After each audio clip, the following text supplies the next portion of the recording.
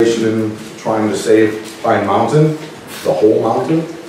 I also wear a couple of hats. I'm also served, I'm very honored to serve on the board here at the Pine Mountain Settlement School. I've been on the board for like 10 or 12 years, but I've been associated with the school for 25 years maybe. Uh, Goes back so far, I don't remember exactly. And um, I also wanted to, while we're waiting, I wanted to thank the settlement school, Jeff and Sky for, for hosting this and going through so much work to put this together for you all. And I also want to thank the uh, Society for Economic Botany for choosing to come here to this relatively remote corner of the United States.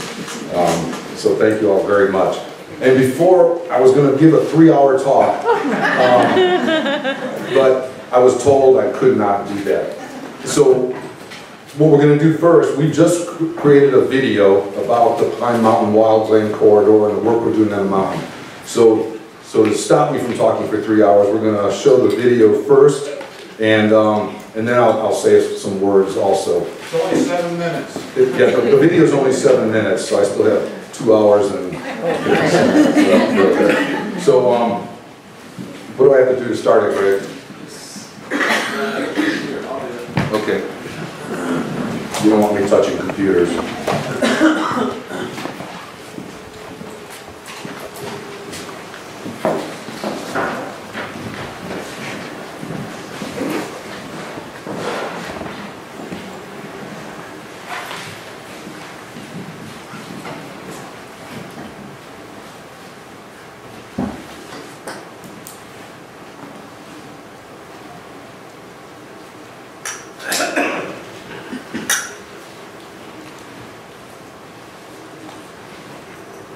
Doesn't sound like there's any sound. No sound? This is our silent movie.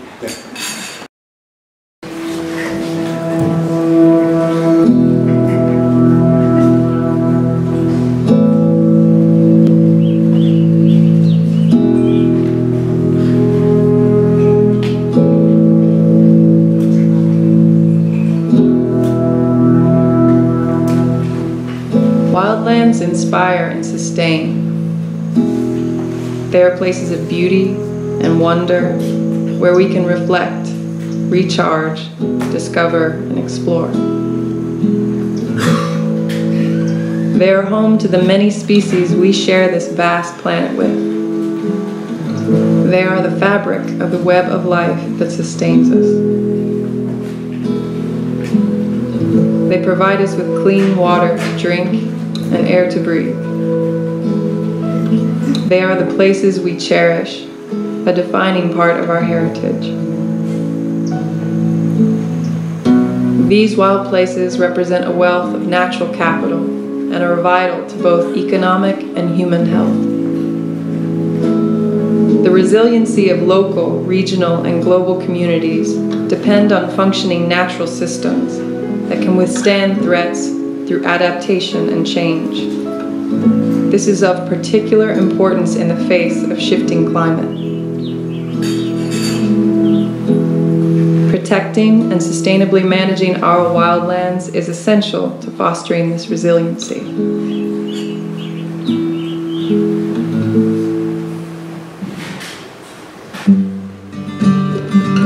Some of the wildest stretches of central Appalachia can be found in Kentucky along Pine Mountain, a 125 mile forested ridgeline running from Tennessee through eastern Kentucky to Virginia that is crossed only by nine roads and three rivers. Free of mineable coal, this forested mountain is a critical refuge and migratory route that runs through a region familiar with extensive resource extraction. There are nearly 100 species of rare plants and animals known to live on the mountain. Some found nowhere else on the entire planet. Part of a major wildlife corridor through eastern North America, the mountain is the pathway black bears have been using to return to Kentucky. It provides important summer nesting grounds and a migratory route for birds as they return from wintering in Central and South America. and it offers key habitat to monarch butterflies during their annual epic journey. Pine Mountain is home to the mixed mesophytic forest, one of the most diverse temperate forests found on the planet.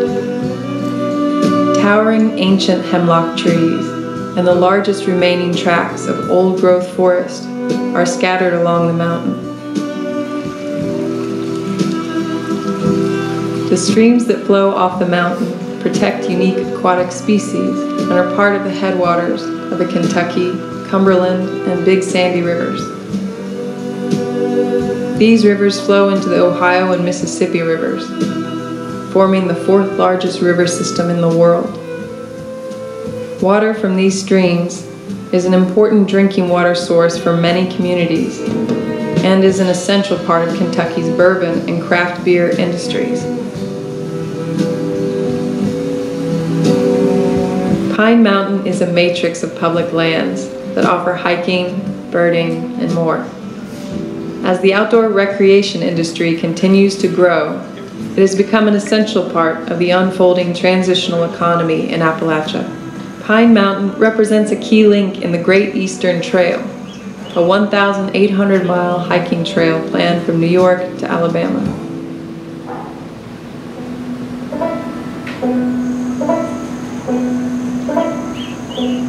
Sadly, the expansive biological treasure that is Pine Mountain is under continual threat.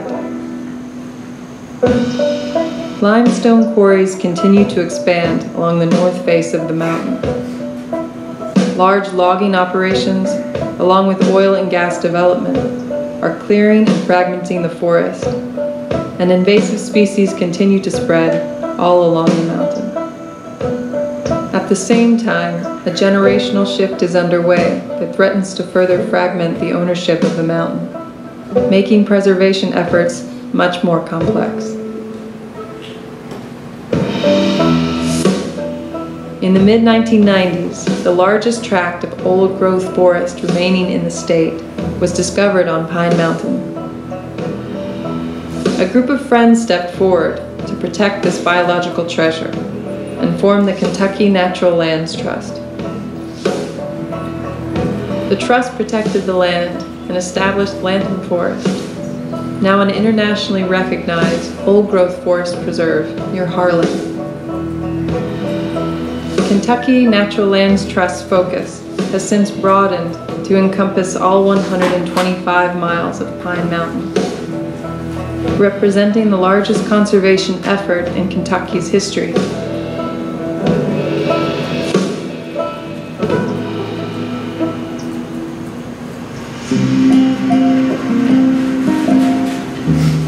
Working with private landowners and partnering with national, regional, and local conservation organizations. The Trust has protected, connected, and restored thousands of acres of land. Kentucky Natural Lands Trust conservation goals depend on individual supporters and a diverse network of partners. In this interlinked web of life on Earth, local actions have global significance. Protecting Pine Mountain is an opportunity for positive change locally, regionally, and globally.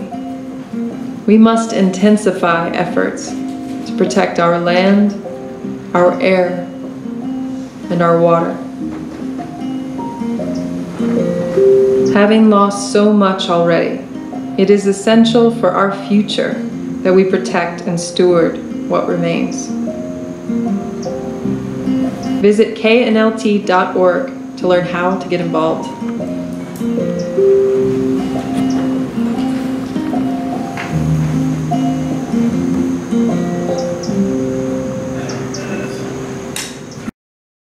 to uh, help us in our efforts um, to protect the mountain and get the word out. Kentucky Natural Lands Trust, I'm, I'm going to repeat actually several things that the, that the Ruby said in my talk. But we established the uh, Kentucky Natural Lands Trust over 20 years ago. we were first the Blanton Forest Trust, and that was to protect Blanton Forest. Uh, I, I worked as an inventory biologist here in Kentucky for the last almost 30 years, and I had what I consider to be the very best job in the world. Um, they paid me to run around the woods for 30 years and look for cool plants and animals. I mean, it could not have been better for me personally. Um, and they said, they gave me the whole state of Kentucky, and they said, go for it and inventory, look for rare and endangered species and unique natural areas. So I took them literally, and I rarely was in the office. I was in the field most of the time for the last 30 years, and as long as you don't mind ticks and chiggers and snakes and things like that, which I like all of them, so it's okay. Um, so let me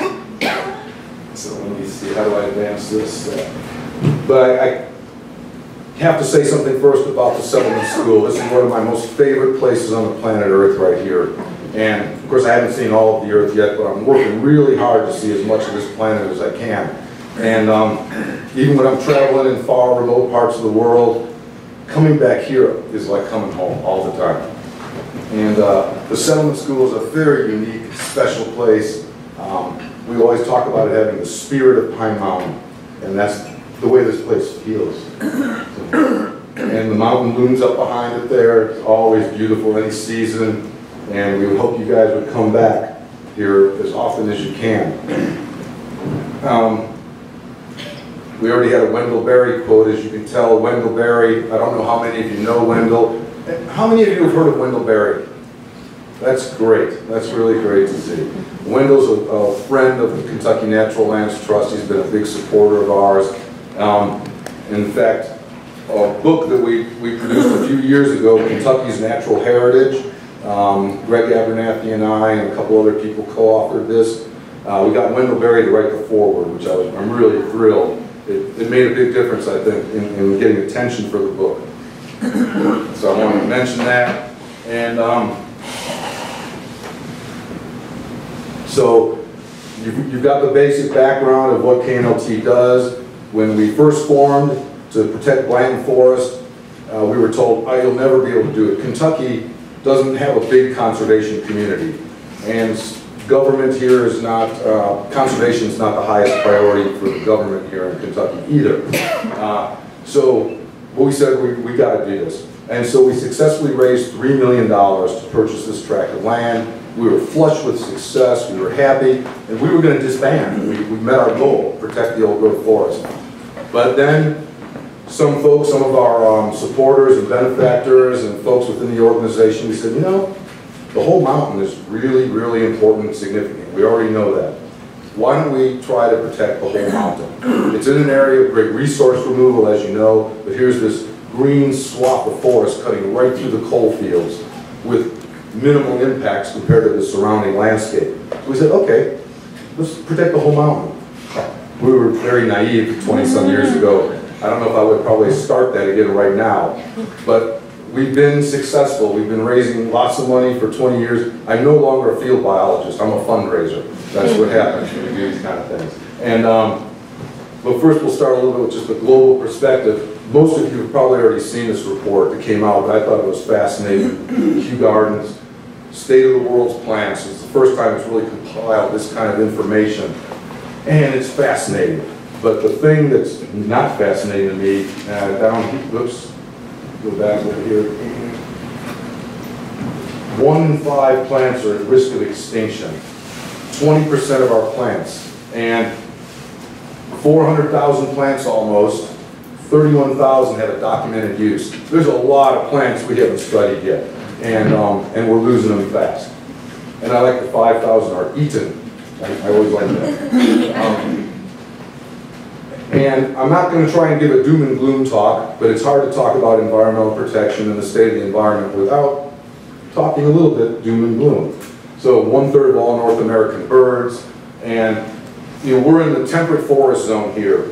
And the temperate forest is a major forest in the northern hemisphere that covers a vast area. I'm doing what you did, Ralph, hitting the wrong buttons.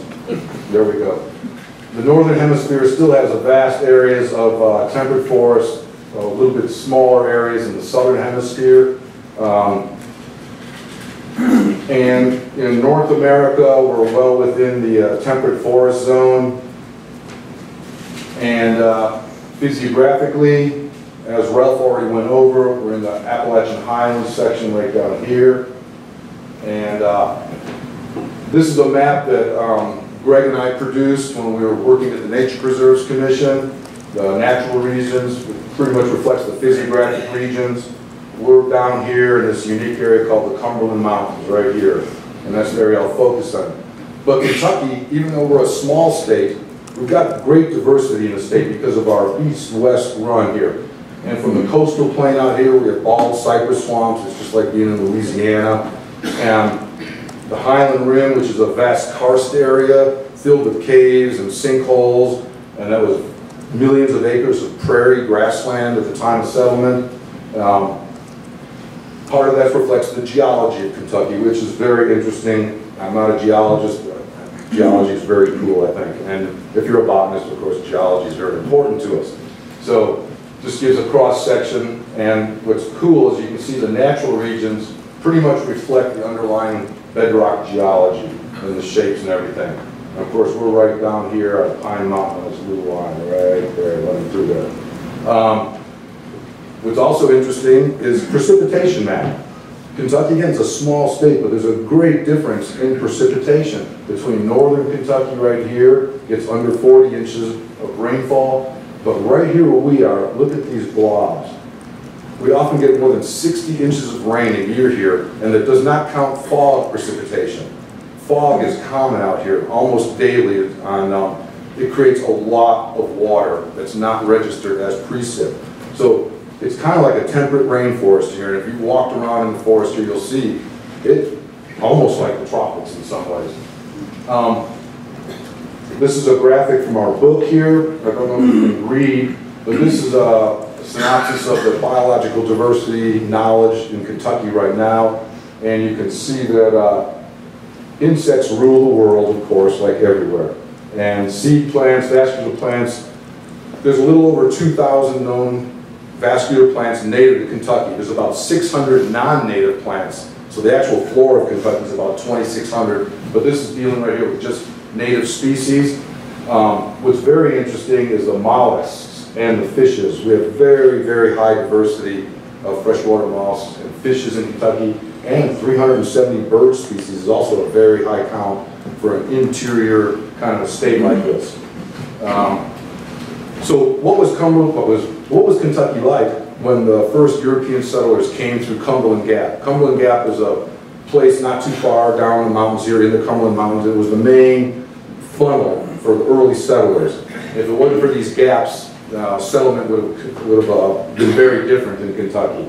So Greg and I and some others put together this pre-settlement land cover map, which I think is very, very cool. So when settlers first came, probably 90%, 85, 90% of Kentucky was forested, basically. In this area here in the brown, this was the prairie regions of Kentucky, and there was some prairie out here. The yellow is forest, but it's all wetland forest for the most part, some marsh, swamps. And in the central bluegrass, we had savannas, these really hmm. interesting, large savannas that were mostly destroyed 200 years ago, because that was the first part of Kentucky that was settled. Now if you go to Lexington, you'll see these really pretty horse farms. To me, they're very sterile, because they're just one species of grass. But they still have some of these huge old burrows, chinkapin oak trees that are centuries old, scattered in the pasture. And if you really have a good imagination, you can kind of picture what it used to look like. Fact is, this area was called the land of cane and clover originally. There was so much um, native cane around an area here, but you rarely see that anymore in the uplands. So, what's happened since then? Even though Kentucky doesn't have a high population, we're still changing things rapidly. One square mile per week is being converted in Kentucky. 365 days a year, or however many weeks per year, no break for Christmas or New Year's, all the time. And um, we are losing forest land still to this day. We've lost vast tracts of forest. And so this is Kentucky today. And one thing I like to do, um, Kentucky then, Kentucky now. It kind of gives you an idea of why we feel such an urgency to protect what remains of our wildlands in Kentucky. You know, you walk around out here in eastern Kentucky, you think, ah, there's lots of forest, species seem like they're doing well, plants and animals, but it's not the case. When you take a bigger outside perspective and look at the whole state, populations, almost all native plants and animals are going down, down, down. So it's very imperative that we protect as much of the remaining wildlands, protect these, these things. So, so, there. So as a result of finding this stuff out, one of the things we did when I worked at the Nature Preserves Commission, again, this is a Greg and Mark project mostly, um, we decided to do an analysis. Everyone says, oh, Kentucky's got a lot of forests, 50% forest is still no problem there. I said, there's a problem. So let's find out, you know, forests, you guys are all biologists, forests evolved to be really, really big. Forest ecosystems work on a large scale. When you start chopping forests up into little pieces, little pieces, they don't function as they do as a large entity. So we wanted to find out where's the remaining large tracts of forest. So this map is one of the results of that, and um, this is over a thousand acres, less than a thousand acres, greater than a thousand acres. You can see the majority of the large tracts of forest are here in eastern Kentucky, except for some exceptions. This is Mammoth Cave National Park which is an amazing place, the world's largest cave still to this day, UNESCO World Heritage Site.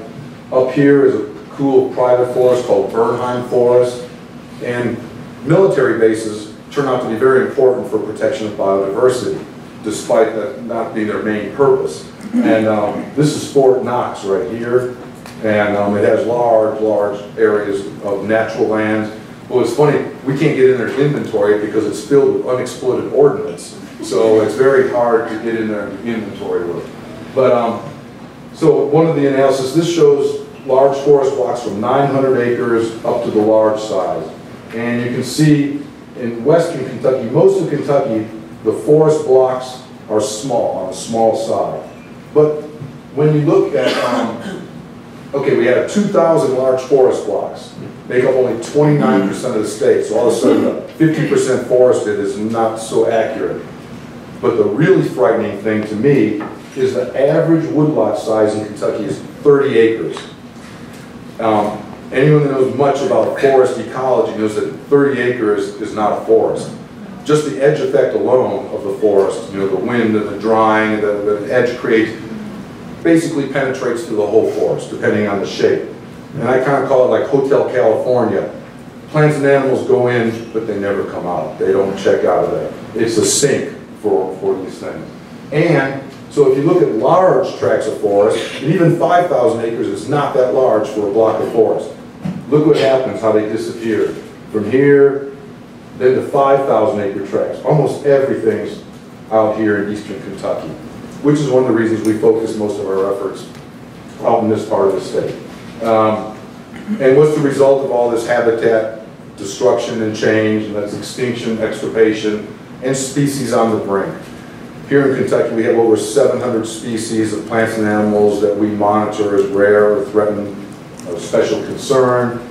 We've already lost quite a few species that we know of, 54 to begin with, six plants, four mammals, 22 mussels, nine fishes, 11 birds.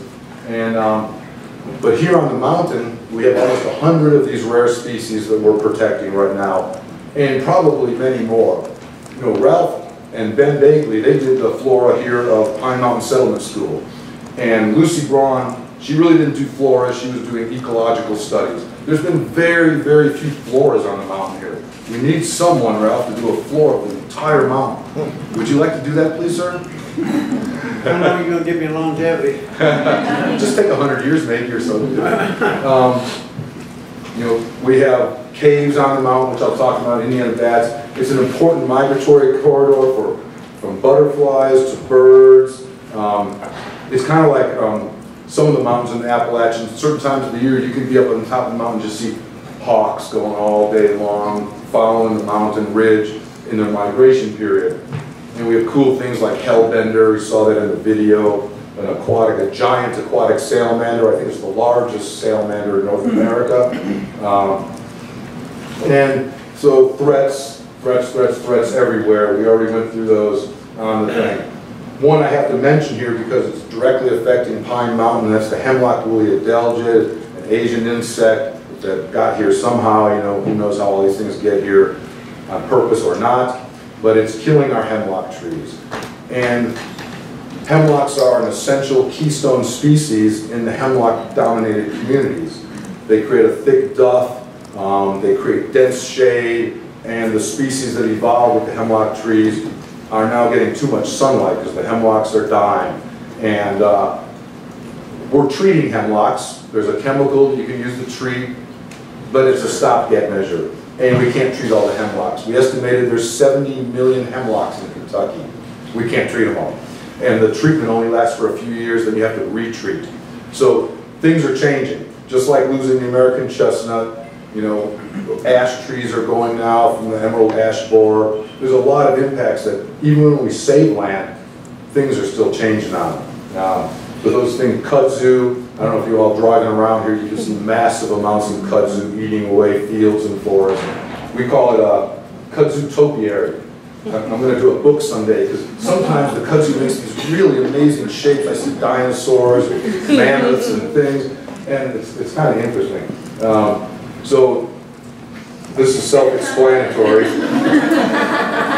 It's an unfortunate slide, you know. We'll be fighting invasive exotic species forever. It's something we've, we gotta learn to live with. We try to control the most aggressive ones, but they're a part of our flora and fauna now. And there's not much we can do about it. You know, I've got nothing against cutting trees. Um, I've cut down trees and I like to use wood, I like to work with wood. But there's a right way and a wrong way to cut forest. And massive amounts of clear cutting are not the right way. It might be the right way monetarily, to take in as much money as you can, but it destroys the forest ecosystem. If, if this were ever to come back, it'll take centuries and centuries and centuries, if not thousands of years. And you'll never get back the community that existed there before. Um, Ralph went over mining, so I won't do it. We're in the middle of the, one of the most massive areas of resource removal. And, uh, but on Pine Mountain, we're very lucky. And one of the reasons we chose Pine Mountain, when one of the reasons Pine Mountain is so intact is because there's no commercially mineable coal on the mountain. That has to do with the geologic upthrust, which I'll explain, all the coal eroded off a long time ago. So we're very lucky that way. We don't have to, we don't have to butt heads with the big coal companies because we would lose. Um, they're a lot bigger than us. So, but there is limestone here on the north side of the mountain right here. And it's a very pure limestone. It adds great diversity to the mountain biologically because there's, you know, it's not acidic soil all of a sudden. You get calcium for snails. We have an amazing land snail fauna here. But um, they're eating away. And then, of course, there's climate change, which everyone's aware. of. I won't go into, except Greg, did you make this graphic, Greg? No. You got it somewhere? It's a very cool graphic. It's very simple that um, growing zones, climate change, is moving 3.8 feet per year on average right now. And you go, eh, three feet, no big deal. If you're a bear, it's easy. It's 3.8 feet a day, a quarter mile a year. A quarter mile, thank you, I stand corrected. Thank you. 3.8 feet per day. Okay, that's a big difference, isn't it? But if you're a little critter, you know, it's, you can't make it. So one of the things that's cool about Pine Mountain is basically runs north-south. And so it gives plants and animals an opportunity to migrate. And as you all know, everything migrates at a different rate of speed. And so during this migration period, things are really mixing up. It's going to be very confusing for quite a long period of time because the pollinators might not move as fast as the plants or vice versa. And so it makes for some serious changes right here. So what are we doing about that? On, on the continent-wide, there's uh, organizations, the Wildlands Network and many other nonprofit groups are working on plans to create wildways across North America. And what we're doing here, this is our version for Kentucky. Um, you all probably heard of um, E.O. Wilson's Half Earth book that's out now. Very interesting book to read if you haven't done so. Um, I found it fascinating. But we've been talking about this for a long time, and we need to protect more and more of the earth. But I'm really glad EO came out with this, this thing. But, so we think we're being very generous. This is not half of Kentucky. So EO may not be happy with us. But this is our proposed draft conceptual map. And of course, we're working on our little strip right down here in the mountains right now. Um, And speaking of migratory routes and corridors, Kentucky has a direct connection with Central and South America through the migration of birds that, that, that summer here and then winter in Central and South America. And um, so now we're gonna get into the cool stuff, the positive stuff. I'm done with the doom and gloom, and we're gonna talk about this amazing mountain. Now, Pine Mountain Wildlands Corridor, we said 125 miles long, this is an old slide, five miles. It's not a very tall mountain, very easy to walk up in a day and down, but it's a big mountain, it's long, it's a ridge 125 miles long, over 180,000 acres, um, and basically almost entirely forested only crossed by nine roads, and those nine roads are the roads that break up each of the large forest blocks that make up this mountain. Otherwise, it's just a series of huge forest blocks still.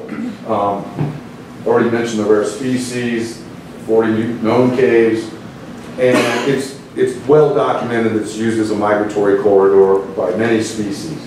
Um, so our goals for Pine Mountain, and we started doing this 22 years ago, and we've been rocking and rolling ever since, buying land. And um, so we want to protect the areas of greatest ecological significance, create the wildlife corridor.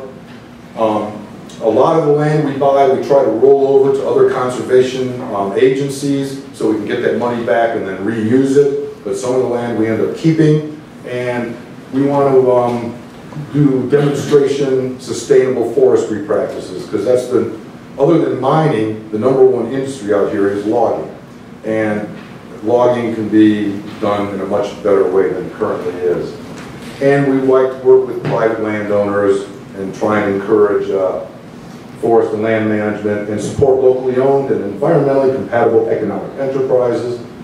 You saw the location of uh, the corridor here. Um, I don't know how well you can see this. This is a mishmash of different colors. These are all properties now in the different colors that have some level of protection. And uh, Pine Mountain Settlement School is right, right here. So we're, Pine Mountain Settlement School is like right in the middle of Pine Mountain, which I think is really cool. And um, the mountain just, as you can see, just runs and runs and runs. So when I did the inventory here in 19, early 1990s, I was very excited because I really like the mountains. It's known for its diversity and it's got wilderness areas. I've been inventorying much of the rest of Kentucky. So I was, my plan, I said, oh, I'm gonna walk the entire mountain, up and down every hollow. Um, Well, I never covered the entire mountain, it's too big. But I covered a lot of the mountain doing that. Um, And as a side benefit of this, there's a, there's a Pine Mountain State Trail, which is part of the Great Eastern Trail, which is mentioned in the video. And so much of the land we purchase here is important for the trail. And that's one of these, uh, part of the transitional economy for, to, to create outdoor recreation opportunities here in the mountains. And, you know, everyone's probably familiar with the AT, the Appalachian Trail. You know, there's been many economic studies on how much it's um, assisted and helped the local communities. And our hope is that when this is completed, it will have the same kind of effect on the local uh, economy here. We're also part of the um, watershed, headwaters of three major watersheds here in North America, the Ohio, Tennessee, and Lower Mississippi. And what's kind of cool, we're tied into the fourth largest watershed on the whole planet Earth, which is the Mississippi-Ohio River system. And uh, can't talk about Pine Mountain without talking about my hero, um, and that's, everyone called her Dr. Lucy when she was alive, E. Lucy Braun, Braun. And uh, she published probably 190 articles and several books, but for me, the most important ones working out here were these. These were my Bibles when I, when I started doing the inventory out here. And she first drew our attention to Pine Mountain um, as being significant at the Nature Preserves Commission when we formed in the 70s. So she documented Bad Branch. So we immediately, in fact, Hugh Archer, wherever he is, Hugh is our executive director at the Kentucky Natural Lands Trust. Hugh was the executive director of the Nature Conservancy also many years ago. And he purchased um, the first large tracts here on Pine Mountain at Bad Branch. And for those of you that are staying for the Footsteps Lucy Braun program, I know some of you are, you're going to visit Bad Branch and see some of these amazing areas. In fact, I would really encourage all of you, if you have the weekend free after the meeting, stay for the weekend and see some of the amazing diversity and beauty of Pine Mountain. It's an amazing, it's a fantastic weekend program. Um, so, so Lucy and I go way back, and I'm not gonna say a lot about Lucy, I don't wanna steal the thunder from somebody who's gonna give a whole presentation on Lucy later. Uh, But in her book on the vegetation of Pine Mountain, she's got all kinds of cool old black and white photos. She studied the mountain out here when most of the forest was still virgin. There was still American chestnut trees, they were dying, as she talks about. But she was able to sample the, the virgin forest here and gave us so much baseline data that we could never have anymore. So we're really, really grateful to her. Um, you can see her standing right here, and that's a big, uh, Can't see what kind of tree that is. A big buckeye right there, thanks. Um, Had the same map, Braun's forest region, of course, we're right here in the mixed mesophytic, right in the heart of the mixed mesophytic forest region. And there's, uh, now, okay, I'll get to the geology, this is fun stuff. Right now, we're all sitting in a dangerous place. We're sitting on a fault line. Luckily, it's not an active fault line. Um, But the fault line literally runs right through the school property right here. And that would be this fault line right here. And so when the Appalachian Mountains were first formed, the Appalachian Mountains have gone through actually several uplifts and, and erosional periods. Boom, boom, boom, up and down, up and down over millions and millions of years. The last big upthrust of the Appalachian orogeny was about 275 million years ago. And that's when this big thrust fault block was, was created and it was, it was raised up thousands of feet and it pushed up over the existing Cumberland Plateau area. And I wish I knew that, because the other side of this is a mirror image. It's Cumberland Mountain, um, just to the east of here. It looks just like this, except comes up on this side. And what's really cool is this whole rectangular thrust fault block, which is 100 miles long and maybe 30 miles wide, the whole thing was shoved north like six to eight miles. It must have been incredible if you were standing there. Um, I don't think you'd be standing too long. And what's, what's most interesting, all these layers of sandstones and shales and one layer of limestone here were deep, deep under the earth there. Was, um, and were brought, brought to the surface. So that's the thing. And then one of the things most beneficial to me was Lucy Braun's cross-section, or hand-drawn cross-section of Pine Mountain. Very cool. There she, she describes each one of these sections, the vegetation and the flora, and it was extremely useful to me. Um, if you've never read the Vegetation of Pine Mountain, it's really good reading. It'll keep you awake all night. Um, it does for me anyway. So Lucy was very, very impressed with Pine Mountain. She studied many forests all around the eastern U.S., actually in the western U.S. too. But she said this mountain here had more different communities and more contrast between the communities than anything else in the Cumberland Mountains. So another reason we're focusing on the mountains because of, of her, her knowledge. And this is the home of the mixed mesophytic forest, which is the richest temperate deciduous forest one of the richest temperate deciduous forests on the planet Earth. Sometimes they say yes, I'm the richest. Um, there's other temperate deciduous forests, a very rich one in China and in the, the Himalayan mountains. Um, but this place, compared to other temperate deciduous forests, is exceedingly rich. There's over, she lists over 42 species in the canopy. Um, Ralph, you had said like 30. I think is what you said, and that's what I always use too, but in reading her paper, she said 42 species. Um, and things like our magnolias and so many species. So last night at 2 a.m., I decided I'll never have all these memorized, so I decided just quickly to write down some of the top species, just so you can see the species that dominate in the forests here. Any one tract of forest may not have all of these species in one spot, but overall, on the mixed mesophytic forest here, we'll have this great diversity, um, and it's, it's just magnificent. Ralph mentioned American chestnut, how important it was, making up to almost 50% of the canopy in some of the forest communities. And of course, we've lost the American chestnut as an active participant. But the very cool thing is, when I first, started doing field work 30 some years ago, you can find chestnut sprouts all over the mountains. The roots are not killed, and so they keep resprouting. And as soon as they get certain size, the canker, the fungus attacks them, they die back down to the ground. So, uh, maybe 15 years ago, I was walking through the forest, and you know, as a botanist, I'm looking down a lot, right? Always looking, looking at plants. And that's how you run into bears and other things, though, too. But all of a sudden, I look and there's this really strange husk on the ground. It took me a minute to realize it was American chestnut. It's not something I'm used to seeing. Um, and I looked up, and there was American chestnut trees matured, reached sexual maturity, flowered, and reproduced and produced fruit. I, I did a dance in the forest. It was so exciting.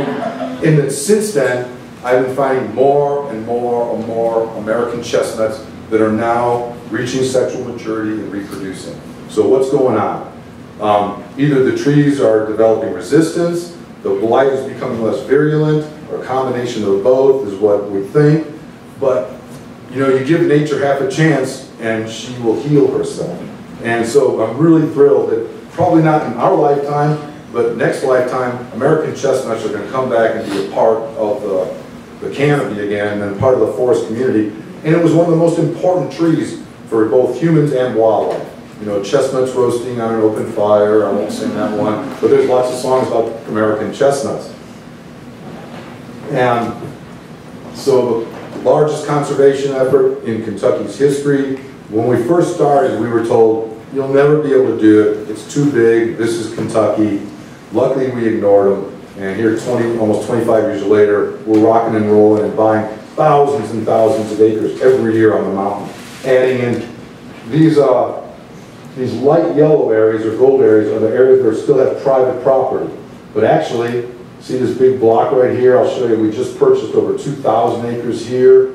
And so we're filling in all these gaps on the corridor. And I actually can see that we're, we're going to actually do this probably in my lifetime, which is really amazing. Um, Kentucky's famous for its caves and karst.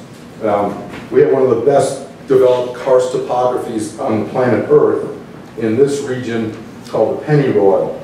Um, there's very little surface drainage, which is why probably prairies occurred there, because a fire could just roll for miles and miles and miles without any breaks. But the reason I put this up is uh, zoom in and you look at Pine Mountain right here. Because of this limestone layer that we have here that's up thrust because of the uh, geology, we have many, many, many caves. These are not like Mammoth Cave caves. These are caves that I do not like to go in. Um, there's no vascular plants in these caves, so I tend to stay out. I often, I'm often the guard at the entrance to the cave. You always have someone guarding the entrance to the cave. I always volunteer for that. But these caves are very cool, and they add to the diversity. And they harbor many unique species. Um, so we know 42 caves on the mountain, many, many more to be found. There are little cracks in the rock that are hard to find. And we have endemic cave beetles, undescribed invertebrates, things that only biologists can get excited about. Usually when I show this, this is Rogers cave beetle. This is only known from right here on Pine Mountain Settlement School, nowhere else on the whole planet Earth. And so I know you guys are thrilled over it, but when I'm talking to the general public, mm, doesn't go over so well. So Pine Mountain runs and runs and runs down, down the whole length of these counties. If you go to Harlan, it towers over the city there. And um, like I said, I wanted to go up and down every one of these. Out here, these, these ravines or valleys are called hollows and are hollows. But then the common vernacular, is the holler. And that's what I've adopted for a long time. So I go up and down these hollers. Used to be able to go up and down two or three of them in a day. I cannot do that anymore. Um, I don't have that kind of stamina. There's all kinds of unique features on the mountain. Large, large rock outcrops. I get very excited about big rock outcrops. Um, first, they're just really cool, but they often mean different species, you know, that are associated with these things. So that's where we find some of our rare things. This is a screenshot I just took from Google Earth. Um, one of the newest tracts of land we um, are in the process of purchasing has this really large series of rock outcrops. And uh, I got so excited. the survey's not even done yet, but I had to come visit it. And so Hugh and I went out there on a day, it was like this weekend, it poured and poured and poured rain. And we got out there and we walked up this trail, but the trail was like class six rapids coming down the mountain. It was an amazing hike up this mountain. The mountain's steep as it is, or it was sloshing through these like standing waves that were just coming down the mountain. It was amazing. By the time we made it, this is, as you can see, most of the way up the mountain, we made it to this corner right over here. We said, oh, we're here, we're here. So we, we cut through the woods and got to this rock outcrop right here. And lichen and moss are very, very slippery when they're wet. And so we mostly slid on our butts dumping down these rocks. So we never made it out to these really big rocks yet. That's still, they've been waiting there millions of years. They'll wait another little longer for us to come explore the place. Um, all seasons, the mountain here is just amazing. The winter is one of the most beautiful times. The fog settles on the mountain, it goes below freezing, and you get this thing called a hoarfrost. And if you walk through the forest without sunglasses and the sun comes out, you'll be blinded, instantly blinded. It's so stunningly beautiful. Um, Bad Branch is the first um, natural area that we started working on 30 years ago. Hugh did this thing. Um, I won't get into all the tracks, but these are the various tracts of land that we're working on protecting. Altogether, it makes many, many, many thousands of acres right there. Um, It's a deep gorge. This is the, the place that um, Dr. Lucy did most of her studies on in Pine Mountain, one of her main places. We have lots and lots of data here. And she studied this before it was logged. This, this is not overgrowth forest here. Um, It was logged heavily in the 1940s, and she talks about being in the forest while they were logging it and documenting it. And she listed so many rare species of plants that occur here, because there's nice microclimate, microhabitats here, because of the deep gorge. And so the 1970s come, and we formed the Nature Preserves Commission. Our job was to protect Kentucky and do inventory. So of course, Lucy was one of our main guides. We went to Bad Branch. And this is what's cool about nature again. And you think, ah man, it was logged, everything's gonna be gone. No, almost all the rare species are still there.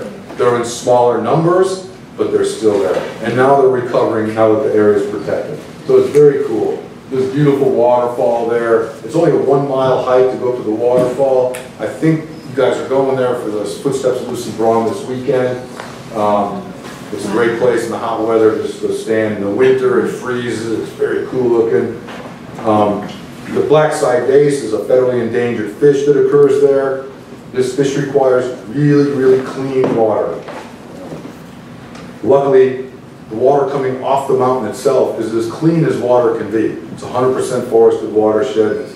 Most, a lot of the folks drink the water out of the streams here. I used to do that until I got really sick once, and now I don't drink out of the streams anymore. Um, things like Fraser sedge, some Cymophyllus fraseri. Uh, the top of the mountain, there's these big rock outcrops that we hike up to and bring groups. Beautiful place, all kinds of cool plants. Um, it's called High Rock, Mars Rock up there, don't you names. And mountain laurel flowering right now. This is the season for mountain laurel. Grows out of the rocks and crevices up on the very top of the mountain. And you know, this is a, the whole plant is highly poisonous. Very cool looking, but you don't want to eat this plant. And you don't want to eat honey made from this plant either. Um, one of my favorite trilliums, we have, uh, Ralph showed you several trilliums. One of my favorite trilliums though is the painted trillium. Absolutely gorgeous. It's a state endangered species, but so showy. Um, and then cool little mint called Meehania cordata, Meehan's mint. Um, very rare in Kentucky. It's an Appalachian species. Uh, Sanguisorba canadensis, the name tells you something. It's more of a northern species. We have many northern species that trickle down the mountain to these unique habitats. How much time do I have? You? Five to twelve. Five to 12? Well, that's okay. We locked the doors. We have a captive audience here, so I'm going to keep going a little bit. Thanks, Hugh. Um, or people can just eat and I'll just keep talking. But Hugh, Hugh wants a few minutes to talk also. So I'm going to roll through this faster here. Got to talk about James Bickford Nature Preserve briefly. No, Ralph covered it, so I'm not going to talk about it much. It's this whole, there's the, the dormitory right here to give you a reference. All of this side of the mountain is James Bickford Nature Preserve that Ralph did the floor on, Ralph and, and Ben. And it is magnificent forest up there. It's approaching old growth, 100 years plus old now, it's been protected, and it's rich, rich mixed mesophytic forest. Some of you I know have already walked the trails up in here, so you've got to experience some of this. I mentioned the cave beetle, Ralph mentioned uh, Chrysosplenium, the golden saxifrage, which is very, very rare in Kentucky, only known from a few places. And then common species like jack in the pulpit, but there's a species that Ralph did not collect, very rare jack in the pulpit that grows in the mountain here called Arisaema, ba Arisaema baglia. And I'm going to actually find a new species because Ben Bagley used to be the naturalist and the environmental education director here. Susan is now that uh, person, so I'm going to switch this out with Susan, I think. Um, and it's not all forested. Lucy documented these really cool pine communities here. I've been focused on mixed mesophytic, but there's many other forest communities. Uh, Ralph mentioned the um, Appalachian oak communities, but there's these great pine communities filled with, um, you walk underneath here, it's big blue stem and little blue stem. It's like being in a prairie out west almost. Very, very cool. I think that bell is telling me to shut up. But um, so open pine woodlands just adds to that great diversity of habitats, cool rock outcrops. I found this plant in the pine barrens and I wasn't sure what it was because I didn't know Helianthemum canadense at the time. Keyed it out, blah, blah, and then found out it was collected once in Kentucky 100 years ago, almost exactly to the day from when I collected it, which I thought was pretty cool. Um, yellow wild indigo baptisia, um, pale corydalis. This I just found this on the large rock outcrops that Hugh and I went to. Real cool plant. I'll stop after I finish Blanton Forest, Hugh. Um, but Blanton Forest is near and dear to my heart. It's the largest tract of old growth forest in Kentucky. I found it when I was doing the inventory on the mountain here, and uh, I don't know, large, 2,300 acres of uncut forest. Now the chestnuts have died, there's been impacts that way, but otherwise, very, very little. There's no roads, and it's basically completely trailless. Um, I'll just list those things, blah, blah, blah. And great rock outcrops, we hike here. I don't know if the Footsteps of Lucy Braun program is going here or not this, this trip. Yes? Good. Uh, very cool place. Everything, when you stand on this rock and you look, you're looking at exactly what the Native Americans saw when they sat on that rock. Old growth forest. The trees, all the trees that we've cored are between two to 300 and 330 years old. Some bigger ones that we have in cored. So it's what I call original equipment. And I don't know if you guys know rhododendron maximum. It's great rhododendron, but it makes dense, dense what we call rhodohells. And um, impenetrable thickets. In fact, we, we, we rate rhodohells like you do whitewater streams, class one, two, three, four, five, six, and it really becomes fun. The class five and six rhodohells, you either have to belly crawl on your belly all the way through, or you gotta become arboreal climb up into the branches and get through the thing. Very fun. Great rock outcrops, um, where we lead lots of hikes, and there's the layout. So I'm gonna let Hugh take over now and say a few words. Otherwise, I'll keep going. I could talk about Pine Mountain really for days. I wish I could go on the mountain with all of you and continue talking here. I've been in this uh, position before, he's left me 60 seconds. Well, they're not gonna give away the food, it's okay. We're doing okay. So I'll let Hugh go and I'll just keep, uh, I never even got to my bear stories. I got all kinds of cool bear stories. So, but Hugh's our boss, so I better turn it over to him right now. Go ahead, Hugh. It was Mark that said, let's do the whole mountain. He was acting like a bunch of experts got together. He said, let's do the whole mountain. And I said, you're crazy. I was the chairman, not, not the staff director at that point. And I've since evolved into And now I'm the chairman. Things are reversed. And he's done, Mark's been my muse. Every place he ever finds is the best place he's ever found. And go buy this. And so it's been about a 35-year relationship. Yeah. And we still get along. And uh, today we have a staff of five, and we're doing more work on all five state agencies that are supposed to be doing this. Um, I'd say uh, per acre. Last year, we raised over six million dollars. That's about four times as much as any conservation organization's ever raised in a year in Kentucky. We unfortunately, or fortunately, have about $10 million worth of options in hand, but that's because we've been working on that for 20 years. Some of these are- Some of these projects take um, 20 years. Um, the- That largest tract on the mountain we just closed on, 2,050 acres, like 26 family members own stock in a family enterprise. So, you know, everybody doesn't always get along, so you gotta sit on the front front porch and, and work and work to do this. But uh, and in terms of a kind of bang for your buck, if you're worried about biological diversity, we've been buying land for five, six, seven hundred an acre. Cheap. And, uh, recently there was a uh, highway project up near Wood, and we blackmailed the Department of Transportation for about eighty thousand dollars in mitigation money and bought fifty acres, and it cost half a million dollars, it's eight thousand. So I like working down here, you feel a lot more accomplishment for your efforts. Um, The continuation of that trail, I, when I worked for the Nature Conservancy, many of you have heard of Pat Noonan, and I'm sure he started the Chesapeake Bay Foundation, the American Farmlands Trust, he was president of the Nature Conservancy for years. They had a seminar, and Pat was gonna go talk to the CEO of DuPont, so he couldn't do the seminar. He opened the door and said, ask, and shut it. That's, fundraising becomes a big part of the biology, but the other thing he said was biodiversity doesn't sell.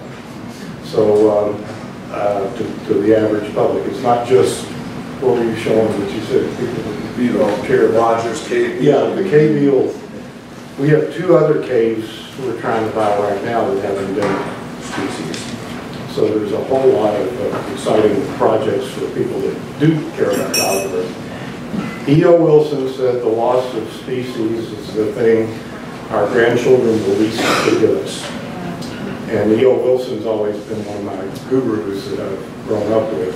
Um, And uh, between Mark and E.O. Wilson, I'm the brokest lawyer you'll ever meet. Um, There's 30 years of conservation work fighting the big guys that pay the big lawyers is not the way to make money, but I'm pretty happy. I've worked on over 200 natural area projects in the state in the last three years, and uh, probably lost 400 that we tried about.